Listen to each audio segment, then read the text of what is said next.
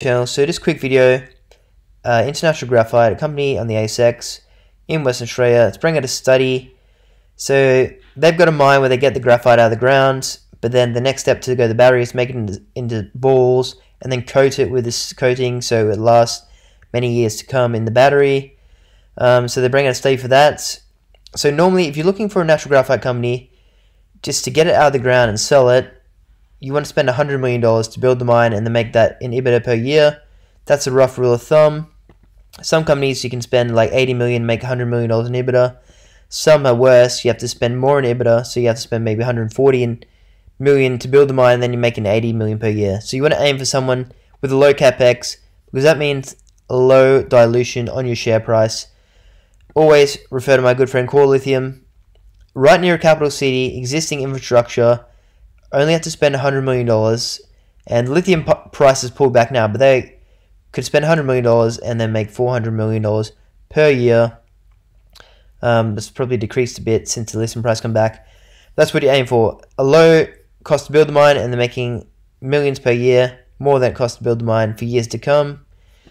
So, also what you look for, the worst thing would be a company who has diesel generators out the middle of nowhere, 500 kilometers from capital city or a port. That is really not good, unless they've got freakish grade, but everyone seems to have similar grade with graphite.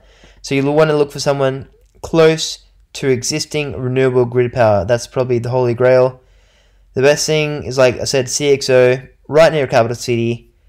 Everything's existing, existing workforce, because then you only have to spend a little bit of money and you can make a lot of and then make a lot of money. So spend a little and make a lot is what you want to aim for. The best natural graphite one I see also comes down to price. You obviously can't buy it for 500 million.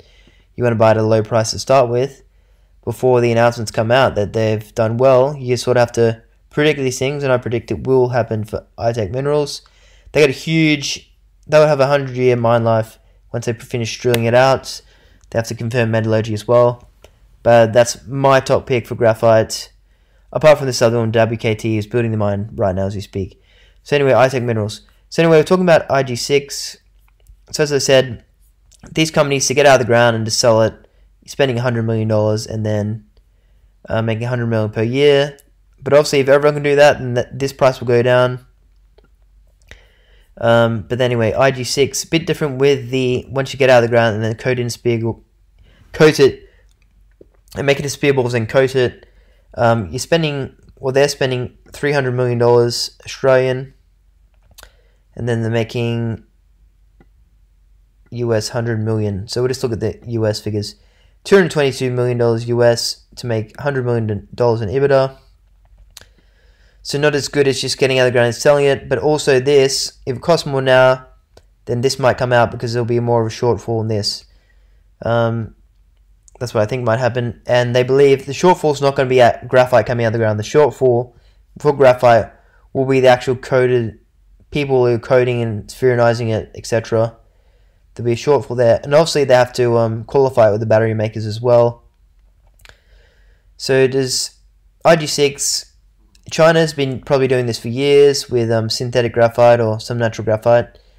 Um, these ones are probably the first guys in Australia to do it. They got a pilot plant no real advantage over any competition. Just that probably they're in Australia, they've got their own mine. Probably will have renewable power. Probably will have government help. So the government probably wants um, to have this set up in Western Australia. Western Australian government's probably got a lot of money. They'll say, "Yep, we want workers. We want work for um, we want jobs, etc." So maybe they'll send them some money. Who knows? So that's for coating it, spheronizing and coating it. And if just want to spheronize it, they can spend less. They can spend $87 million US and then make uh, $43 million EBITDA per year.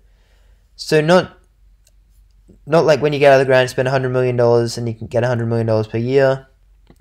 Um, yeah, so that study. But take in mind, CXO had a study like this when they didn't make that much money at all. Fast forward, the lithium price went crazy, and you redid the numbers. They're making five times as much. So that's what could happen to spherical graphite. Not saying it will, saying it might. Um, yeah, so I'll leave it at that. So just once again, if you're investing in a natural graphite company. First, you want to understand batteries. Understand that sodium ion batteries are coming, but the batteries of choice for the next five years to decade will probably be LFP batteries, which contain natural graphite. Um, so basically, you want to look for a company. You can look at the study. You basically want to aim for hundred million dollars to build to make EBITDA of hundred million, and obviously that number's less and that's more. That's even better. But that's a that's a green rule of thumb that I've seen with the natural graphite stocks. And then obviously, yeah, close to existing renewable grid power would be the best thing. And the worst thing would be diesel generators 500 kilometers from existing capital city because you're going to have a massive capex, massive OPEX, sorry, massive OPEX costs, and your your product you'll never even get built because no one's going to spend the 500 million dollars to make 100 million dollars. Where they could pick the one where they can spend 100 million and make 100 million per year. Um, RNU. So we'll just look at their study just to show you. ITM is right next to RNU. RNU's got a free government loan, um, have done more drilling, etc. So that's why they're further ahead of ITM. But their study, mine concentrated $80 million, startup capital total 142 million, and doesn't give you annual EBITDA. But that's EBITDA over that. Where's the mine life? If you found the mine life divided by this, 40 years.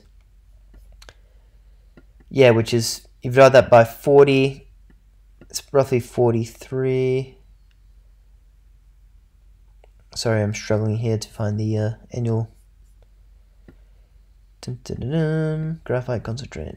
So you've timed this number, time this number by a thousand.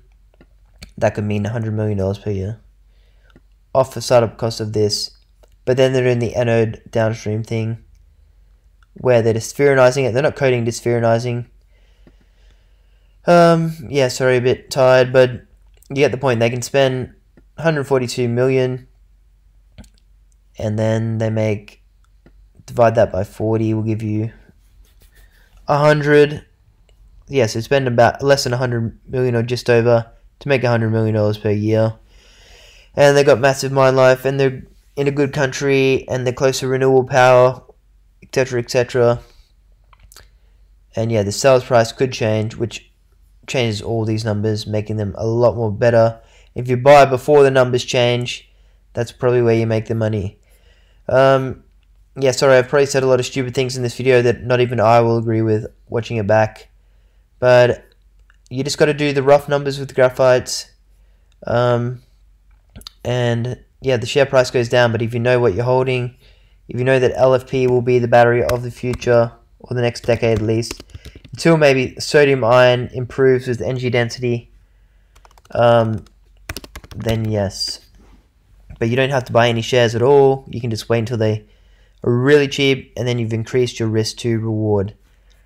This is not financial advice. Do your research, and I'll leave it at that. Thank you.